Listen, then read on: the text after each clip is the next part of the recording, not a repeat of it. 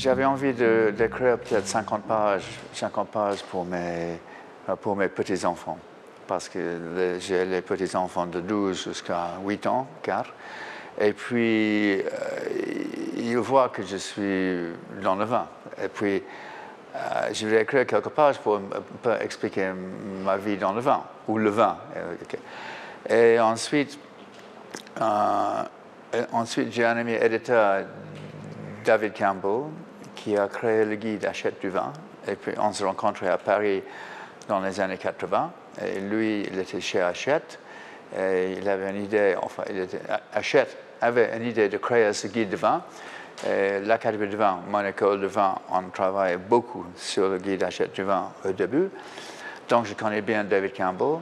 Et puis, je, je, parlais à cette idée d'écrire quelques pages pour mes petits-enfants. Il dit, mais Steven, vous mettez quelques idées sur papier, vous m'envoyez un chapitre ou deux, je vais voir si ça peut être un livre. Donc, euh, j'ai commencé, j'ai envoyé un chapitre, un deuxième chapitre, troisième chapitre. Et avec le quatrième, il dit, je pense que nous avons un livre. Voilà, donc 50 pages, nous sommes passés à, à 340. L'année 90, lorsque je, me suis retourné à Londres en temps complet, je travaillais chez Harrods et ensuite j'ai commencé ma carrière chez Decanter j'avais que un, un journalier. ok. Avant, j'avais, j'avais rien parce que je vivais, pas de jour en jour, mais j'avais pas besoin parce que j'étais basé à Paris. Donc, j'avais mon magasin à Paris. Mais j'avais des mémoires, j'avais c'était assez facile.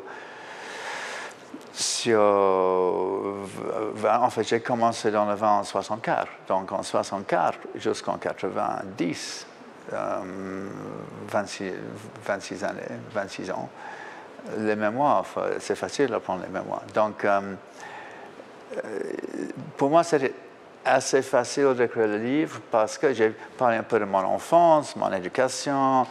Euh, j'étais jeune dans les années 60, donc le swinging 60s à Londres. Et puis, j'arrivais à Bordeaux en 65. J'ai vécu à Bordeaux pendant, quatre, pendant quatre mois.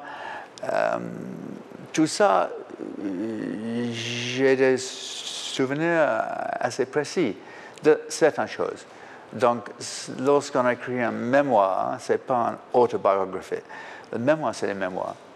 Donc, euh, j'arrivais à 90, et après 90, j'avais mon agenda, mais en même temps, j'avais Decanter Magazine, parce que j'écrivais mensuellement pour Decanter. Donc, par mes écrits de je savais que j'étais à Chili ou en Argentine ou en Espagne. Donc, euh, c'était un peu comme ça. Lorsque j'ai commencé, il y, avait, peu de livres sur le vin, peu de livres euh, informatiques. Il y avait plusieurs livres euh, très anecdotiques. Mais, mais, André Simon était le premier, mais je parle d'il y a 50 ans et plus, le premier de vraiment écrire des livres informatiques sur le vin. Par la suite, Alexis Lechine. Alexis Lechine. Et moi, j'ai tout appris. Les deux grands hommes dans ma vie, mon héros, Alexis Lechine, et mon mentor, mon, vraiment mon professeur, Michael Broadbent. Donc, Michael, Alexis a écrit des livres où on pouvait découvrir le vin.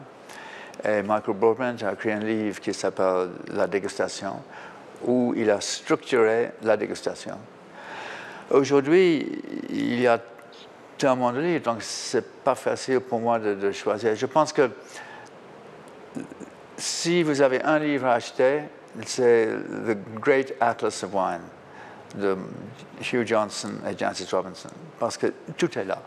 Tout est là, on peut commencer avec ça. Et c'est déjà assez épais. Donc, euh, vous commencez avec ça, et si après ça, vous pouvez, euh, vous pouvez aller dans les livres spécialisés. Ça change. Euh, aujourd'hui, il faisait magnifiquement chaud. Je prendrais un, un entre-deux-mains sec, par exemple, euh, ou un grave sec. on a du Château du Crozet ce soir, donc ça. et puis un, un Bordeaux léger avec le chaleur. Mais en hiver, ça change tout. Et puis, dans le Dorset, j'habite dans le Dorset, dans le sud-ouest d'Angleterre, j'ai une cave souterrain très fraîche En hiver, je bois du Châteauneuf du Pape, par exemple, Gigondas, Barolo, euh, très peu de vin de Nouveau Monde à la maison. Je déguste beaucoup de vin de la Nouveau Monde dans mon travail, mais à la maison, c'est plutôt, c'est plutôt européen.